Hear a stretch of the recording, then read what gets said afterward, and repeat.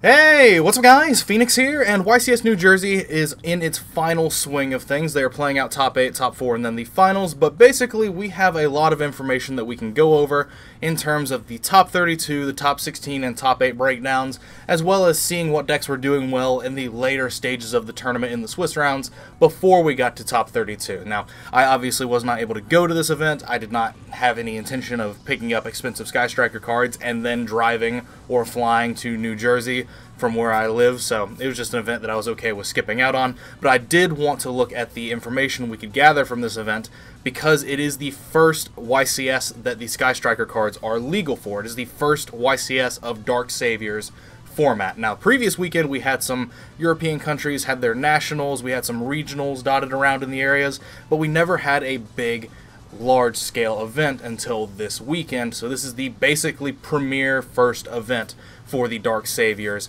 strategies. And so what we have is we have the top 32 breakdown in this lovely pie chart over here. And as you can see, 16 Sky Striker Trickstar decks made top 32, taking up half of the top cut. This was very much the deck to play going into this event. It had some successes in the previous weekend at some nationals and some regionals. It's very much a very simple deck that just utilizes good, just easy interactions, like good plus one interactions. It basically just, you know, both the engines, the Sky Striker engine with engages and Hornet bits and stuff, and the Trickstar engine using terraformings and like light stage to clear out back row, getting the searches for reincarnation, just having good, just standalone monsters that are just simple one for one cards of like you just summon Candina, get a search, like very simple interactions. Uh, these decks pair very well together, and so going into this event, especially with the new time procedure rules, this was definitely a deck that you wanted to heavily consider playing, at least Trickstars in general, because of the new end of match procedures with how time works, you having access to like this burn deck on top of the generic goodness that is the Sky Striker engine you've got supporting it is also good, as well as the deck is very capable of OTKing almost any stage of the game because of how the Sky Striker cards interact with the Trickstar cards as well. It's very easy for you to establish the Firewall Dragon plus Lilybell plus Lycoris infinite damage loop at pretty much any stage of the game because of how, you know, the Sky Striker cards influence the Trickstar cards and vice versa. So it's very easy for you to drop that pretty much at any point. So the deck is actually now very aggressive, and it lost the weakness that it previously had of Trickstars had a hard time dealing with boards and then doing game through them, whereas now with that sort of play, basically accessible at almost any time during the game, you no longer have to deal with your opponent's board. You just attack them directly for game, eight times with Lilybell with Light Stage up, or a few more if you don't have Light Stage up. That is an almost infinite damage loop if you're capable of pulling it off, and that is something that is going to be very valuable going into the future of the new end of match procedure, as well as something that was very valuable for this weekend. Now, it's of note that also, in addition to Sky Striker Trickstars as a pure variant taking up half of Top Cut, two Trickstars and three pure Sky Striker decks, five whole other decks took up space in Top Cut as well. So Sky Striker Trickstar wasn't all of the Trickstar and all the Sky Striker in Top Cut. It literally was just one variant of the deck that took up half of the representation. And this Top 32 breakdown, at least to me, looks very similar to the YCS Atlanta breakdown from back in February, where that was the first event that Pendulum Magicians with Heavy Metal Foes Electrumite was legal. And that breakdown as well had about, you know, just a little bit over half of Top Cut and Top 32 being Pendulum Magicians, but then just a bunch of other decks that were just as as good as playing the game that were capable of playing the game against pendulums as well were just there. They were just there taking up the other half of Top Cut. And that's basically what we see here. So this seems like just a good formula to follow for first format YCS is essentially just play something that you feel like could top against that deck or play the deck for that event, which the deck for this event was clearly Sky Striker Trickstar. Six Gouki made top 32. Now, they stopped differentiating between whether they were Sky Striker Goukis or just regular Gouki decks by the time they got to top 32 coverage, so I have no idea how many of these contain Sky Striker cards or not. Up until top 32, they were saying Gouki or Sky Striker's Gouki, but I mean, there's six Gouki decks in Top Cut, so that's pretty good. The deck is a very good combo deck, especially here in America with Linkuriboh, which doesn't seem like it would make a lot of difference, but it actually just does. Like I said before, three Sky Striker and two Trick Stars. And then there are two Altergeist decks in Top Cut, so this deck is very underrepresented, it would seem. Uh, I thought this deck was going to perform better, essentially. It seems like it has a lot going for it against pure Sky Striker, but I guess the Trickstar build is just better suited at playing against Altergeists. Uh, further testing will tell. Uh, honestly, I feel like this deck may have been underrepresented in the tournament. Maybe uh, I don't know of a lot of people that were playing it. I didn't see it at a lot of the you know post round uh, top table reports. So I don't know. It may have just been underrepresented, and these two spots are actually very good in terms of how represented it was at the event. Or it's just it's a deck that just needs to be tweaked a bit more to figure out its niche and how it's going to deal with Sky Striker Trickstar or Sky Strikers in general. One lone ABC striker list, Calvin Tahan doing what he does best, playing ABC. It's, I mean, whatever, man. One SPYRAL deck as well, and then one 60 card Pendulum Magician deck makes up the rest of the top 32 breakdown. So these are just some random decks that pilots of the deck that are just, you know, very good with that deck are just securing top spots because they're doing, you know, proper technical play, or they had surprise factor in the case of the 60 card Pendulum Magician deck. I mean, like, 60 card Pendulum Magicians. It's like 60 card Pendulum Magicians, but it plays like Majespecters, D's, the Mythical Beasts. Like, it's literally just like every good Pendulum card in the format right now that's at least a plus one or special summons itself.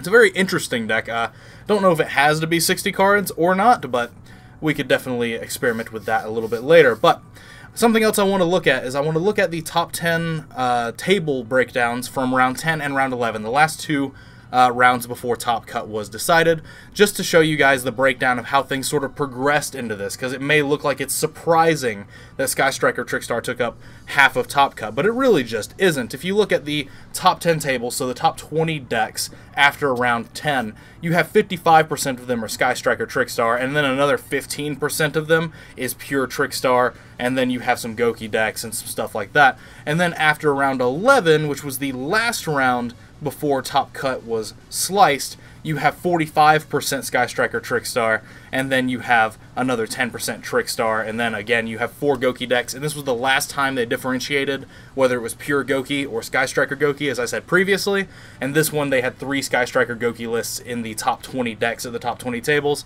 and only one that was none. But then the rest is just all the stragglers, like the, the 60 card Pendulum deck, the Sky Striker decks that are still there, which is interesting. There was only one Sky Striker deck at the top 10 tables after round 11, but after top 32 was, you know, broken up, there's three of them. Which, by the way, speaking of the three Sky Striker decks, moving on to top 16, we see a shift around in the things that are being represented. The Pendulum deck is out, the SPYRAL deck is out, Trickstars are down to one representation, Calvin with his ABC deck is still in, Sky Striker Trickstar is down to 7 decks, or 43.75%.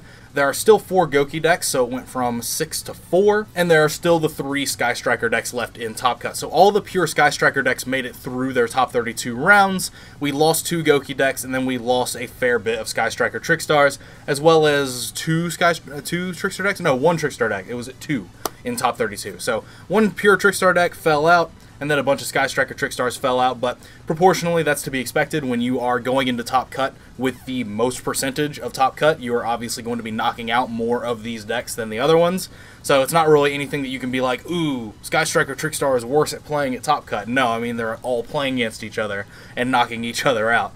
Things to consider before you just like jump the gun and go, uh, this deck is worse than this one because this deck is keeping its representation in terms of top cut percentage, and this one is not. But then looking even further down the chain, the last bit of information I'm going to share with you today before I stop providing information in this video is the top 8 breakdown for YCS New Jersey. We've lost all the straggler decks. The ABC is out, SPYRAL is out, the lone Trickstar deck that was hanging on is still out.